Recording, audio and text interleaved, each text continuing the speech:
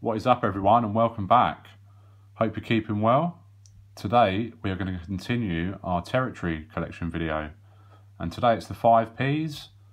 Um, we haven't got loads of 5Ps so do let me know what ones you've got that I haven't because I'm sure there's a few of you out there that have got some that I haven't because we've only got 14 coins in total today um, from four different territories so nothing from the Falklands um, and just seven different designs.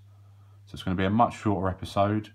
And we've got the 1p and 2p episodes coming up as well, which we haven't got a massive amount of those either. So I might stick that in one video. We'll see. We'll see. Um, but let's get straight into it. It's enough messing around. I'm going to start off with the Isle of Man.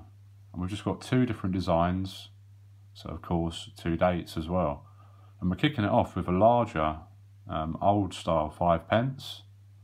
Much bigger, this one and this was the most common date of this design, the 1975. Apparently 1.4 million minted of these, but the 1972 3 and 4 are very scarce with a mintage of just 1,000 according to Numista. To me that must be a set mintage, but it doesn't actually say that. Um, so if you've got one of these, do check the date on it. And the subject matter is the Tower of Refuge there, built in 1832 served as a refuge for mariners wrecked on the rock, um, which was obviously a regular enough occurrence for them to spend a whopping £254 building it. In 1832, that is a lot of money. Um, now in the custody of the RNLI, rather fittingly, and although it looks like a pretty big castle, it's actually only 41 feet, that's 12 and a half metres high, which I mean is pretty high, but it looks much bigger, doesn't it, on the uh, image there. But that's far too much blabbing about one coin. Next up, we've got our only other Isle of Man 5 pence. And it's a much more familiar size. Quick comparison there, shall we?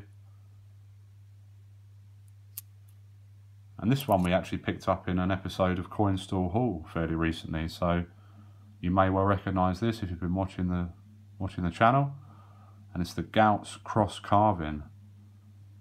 Um, it's going to be tricky to see there. Just to the right of the 5, you can see a die mark there on this one, an AB die mark. We just about see it there, hopefully.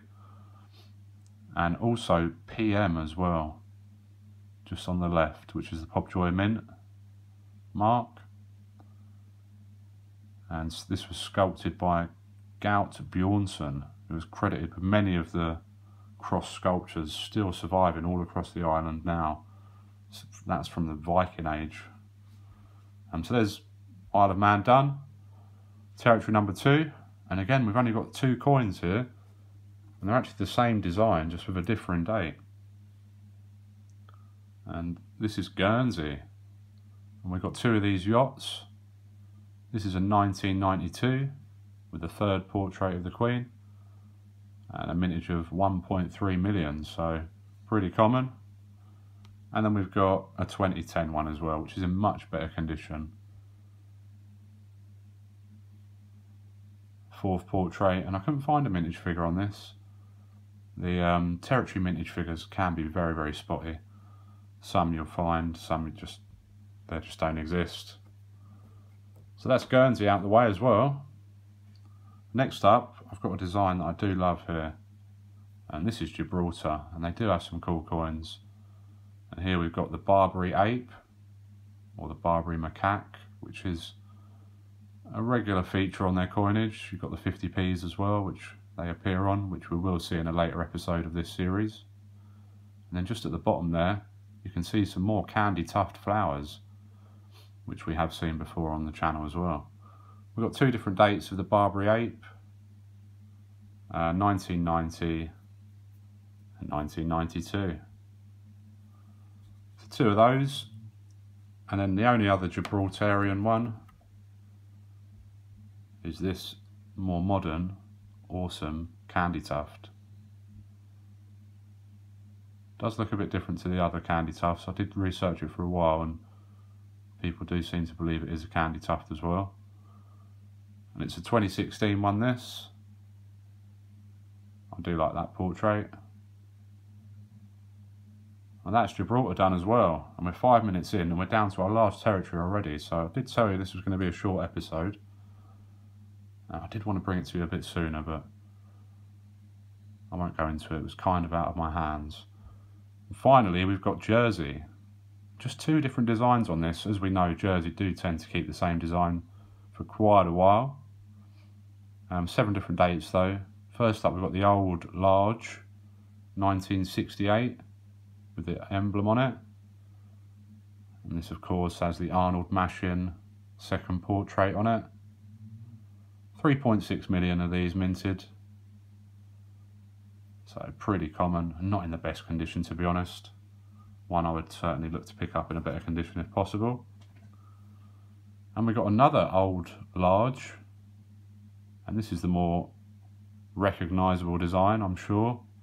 And this is Seymour Tower, built in 1782 as a coastal defence tower.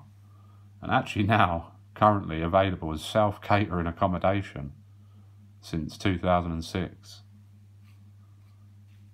And the tower also features on um, BBC documentary The Riddle of the Tides in 2012. So if you want to know a bit more about that, you've got some time to spare, go and have a watch. And that's a 1984, a mintage of just 300,000, so nice one to have. And then we've just got five more of the same design, but shrunk down version. Again, Seymour Tower, but on the newer, smaller five pence.